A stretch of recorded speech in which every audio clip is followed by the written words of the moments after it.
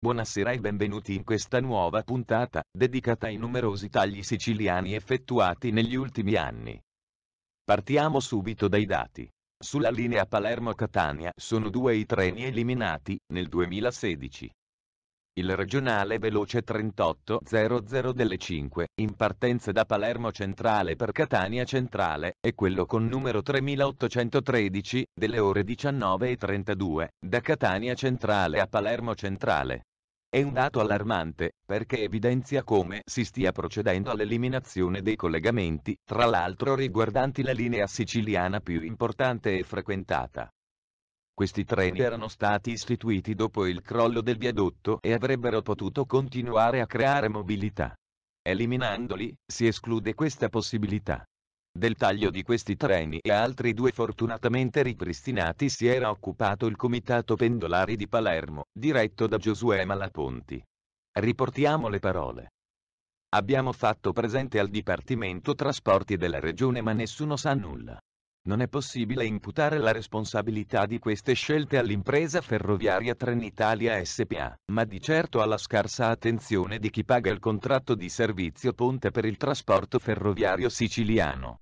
Ribadiamo ancora una volta che è stato più naturale instaurare un rapporto di collaborazione con l'impresa ferroviaria Trenitalia che con l'istituzione regionale che non ha voluto fare tesoro dell'esperienza dei comitati pendolari maturata in tutti questi anni. In realtà che la regione non sapesse nulla ci appare piuttosto strano, in quanto dovrebbe esserne la committente del servizio. I treni erano stati istituiti probabilmente direttamente da Trenitalia, ma se la regione non prosegue nel finanziare il servizio una ricostituzione del trasporto pubblico non può nemmeno iniziare. Nulla di rassicurante giunge dalla linea Modica Caltanissetta. Su questa tratta, le coppie di treni regionali veloci al giorno sono soltanto tre. È quanto mai necessario ripristinare i treni eliminati. L'aggiunta di due coppie completerebbe un quadro orario in questo momento largamente insufficiente. Al riguardo, il gruppo parlamentare del Partito Democratico dell'ARS ha presentato all'assessore una proposta di modifica al contratto di servizio.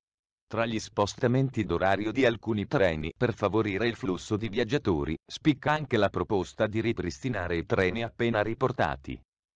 Sulla linea Gela Modica, dal 2014 sono scomparsi il treno Gela Modica in partenza alle 14.24 ed il regionale delle 19.27 in senso opposto. La notizia è ancora più preoccupante, visto che si procede ad eliminare i già pochi treni presenti su questa tratta. Infine, sulla tratta Gela-Siracusa è stata soppressa una corsa della fascia 20-22. Urge ripristinare il collegamento sia per un servizio più completo, sia per completare anche qui un'offerta molto scarsa. Una notizia positiva è invece il ripristino del servizio nei festivi sulla tratta Siracusa-Caltanissetta. Un'ottima notizia per la Val di Noto che verrà dunque riservita da 5 coppie di treni.